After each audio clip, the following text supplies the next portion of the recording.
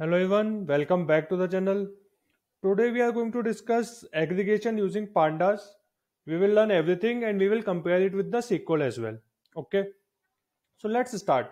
So first of all, we will import the library pandas as PD and I have this uh, CSV. I will put the content of this in the description box so that you can use as it is and let me run this. Okay, let me print df as well so we will see df so in the df we have basically five six columns right? We have order id product name category city sales profit. Okay. Now i want to do i want to do some aggregation. So for example if i have sql i want to do select max of sales from df right? This is something what i want to do in pandas. So for that i will say so my, my data frame is df.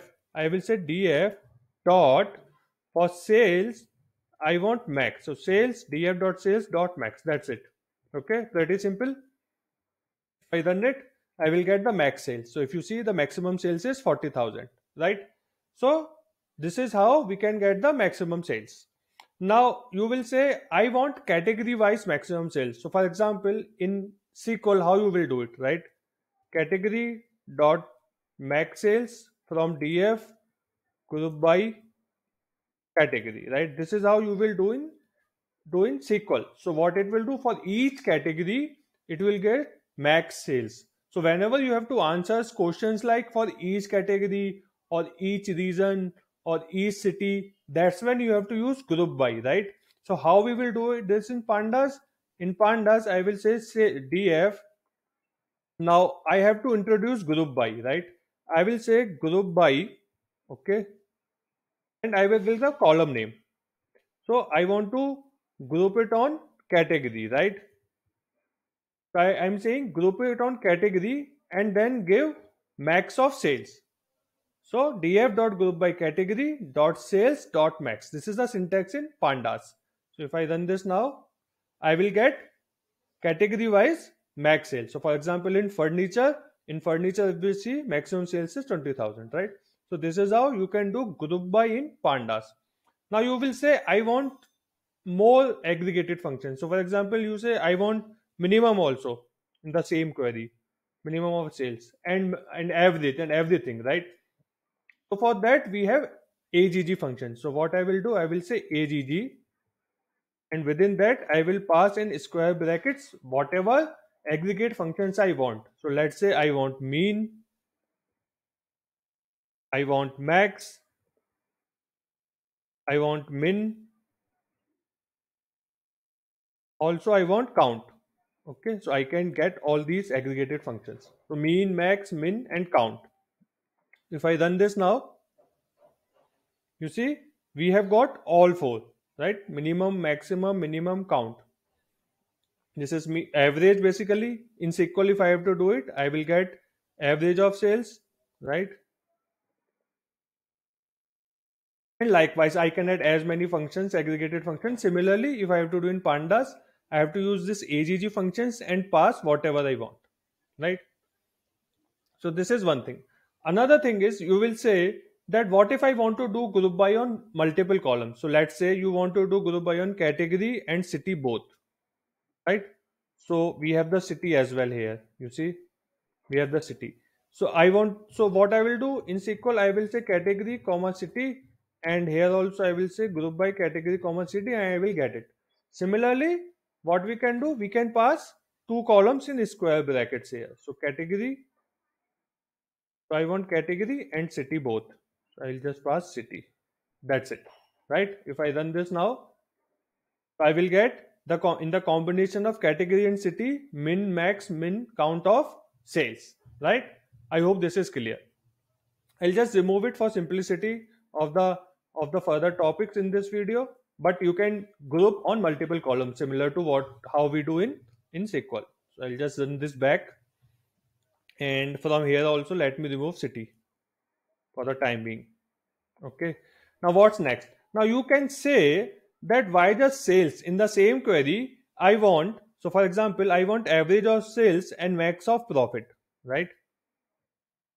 Right? This we can do in SQL it is not just i have to do all the aggregation on one column. I want to get average of sales and maximum profit. So how we will do? Again we will make use of aggregate functions. Now here we will not pass sales because we don't want just sales. We want sales aggregation on sales and aggregation on profit. So for that we have to pass a dictionary or json here. So i will instead of this list of aggregated functions i will pass a dictionary. I'll just remove this as it is this. And then i will say if you see i'm passing a json object or dictionary and i'm saying for sales for sales i want max comma for profit sorry for sales i want mean right? Here i'm getting average sales. And for profit for profit i want max. So for profit i want max. So this is how i will pass. So within the curly brackets for sales i want mean. For profit i want max. So mean and max are the keywords right? And let me run this now okay there is some error uh, uh, mean is not defined. Mean is not defined. If i do min will it work? Yes it is working. Okay so mean is not working for some reason. That's fine. But the idea is you have to pass you have to pass sales this this curly brackets. In a json object you have to pass sales min and profit max right? Let me see if average is working here. Average is also not working. Uh, i'll uh, we can see later why mean is not working right? Mean should work ideally. Uh, that's fine. Okay. So this is how you can do. So for each category we got sales minimum of sales and maximum of profit right?